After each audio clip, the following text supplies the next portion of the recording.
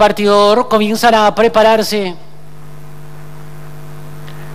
Partieron por los palos, eh, Moody River en el primer lugar, acortó distancias Gran Pegaso, más abierto lo viene haciendo Alaraco, este último queda en la delantera.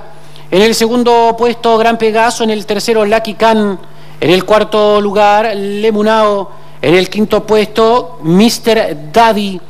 La sexta ubicación es para Gloriosa Visión. En el séptimo lugar, por el lado interior, quedó Cara de Piropo. En el último,